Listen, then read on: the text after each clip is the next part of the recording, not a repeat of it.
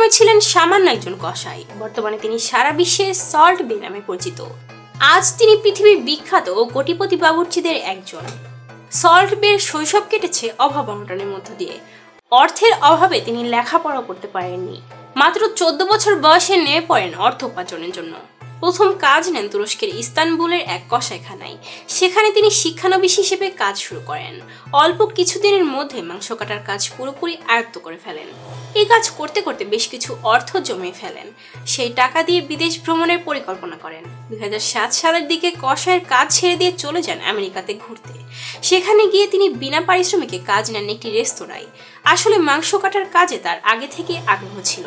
Salt বে চেয়েছিলেন এই কাজে আরও দক্ষতা অর্জন করতে। আর তাই তিনি বিনা পারিশ্রমিকে রেস্তোরাঁয় মাংস কাটার কাজ করতে আপত্তি করেননি। প্রায় তিন বছর তিনি কাটিয়ে দিয়েছিলেন বিদেশে। ততদিনে মাংস কাটা কিংবা রান্নার কাজে বেশ দক্ষ হয়ে উঠেছিলেন তিনি। অবশেষে দুই হাজার দশ সালে নিজের দেশে ফিরে আসেন। তারপর নিজের দেশে ইস্তানবুলের নিজের একটি রেস্তোরাঁ খুলে ফেলেন। দুই হাজার চোদ্দ সালে সেটিকে বিস্তৃত করে পাশের দেশ দুবাইতেও একটি শাখা খোলেন। ততদিনে নিজের দেশে এবং পার্শ্ববর্তী দেশে তিনি বেশ খ্যাতি অর্জন করে ফেলেন। তবে বিশ্বব্যাপী জনপ্রিয়তা পেতে তার আরও কিছু সময় লেগে যায়। দুই সালে প্রথম দিকে অটোম্যাল স্টেশিও নামে তার ছত্রিশ সেকেন্ডে একটি ভিডিও সামাজিক যোগাযোগ মাধ্যমে ভাইরাল হয়। সে ভিডিওতে দেখা যায় নিজস্ব শৈলীতে মাংস কাটছেন ও গোখরা সাপের ভঙ্গিমায় মাংসের ওপর লবণ ছড়িয়ে দিচ্ছেন। ভিডিওতে তার মাংস কাটার নৈপুণ্য দেখে মুগ্ধ হয়ে যায় বিশ্ববাসী।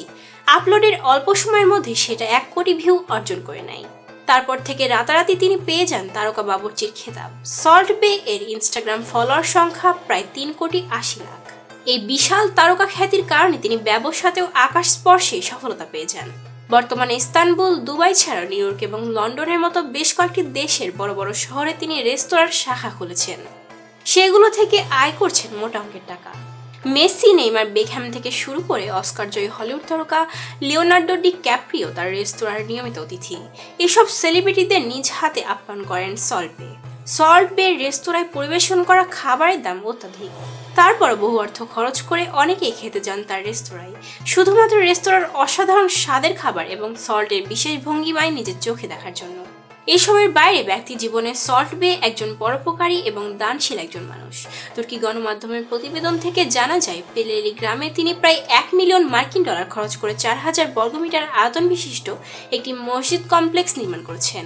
আসলে পরিশ্রম আর দক্ষতাকে কাজে লাগাতে পারলে পৃথিবীতে যে সব কিছুই করা সম্ভব, তারই এক উজ্জ্বল দৃষ্টান্ত স্থাপন করেছেন ইস্তানবুলের সল্পে তো ভিউয়ার এই ছিল আমাদের আজকে ভিডিও। ভালো লাগলে লাইক দিন এবং শেয়ার করুন বন্ধুদের সঙ্গে। আর এমনই সব মজাদার তথ্যবহুল ভিডিও পেতে চাইলে আমাদের পেজের ফলো বাটনটিতে ক্লিক করে রাখুন। ধন্যবাদ।